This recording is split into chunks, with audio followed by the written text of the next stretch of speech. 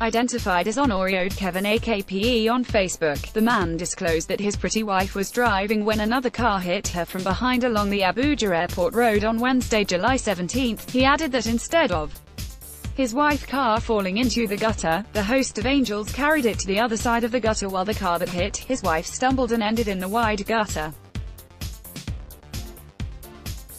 Akpe's full post reads, And I will give my angels charge over you so you would not dash your foot against a stone.